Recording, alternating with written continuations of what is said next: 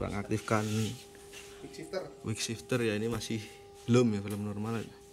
Ini kita tekan aja ini tekan lama yang seleknya. Nah itu udah sudah nyala loh.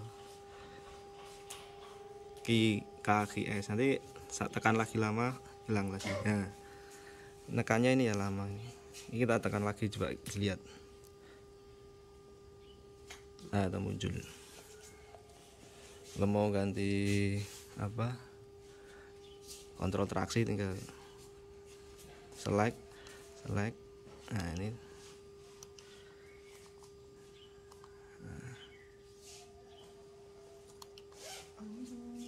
Kayak gitu ya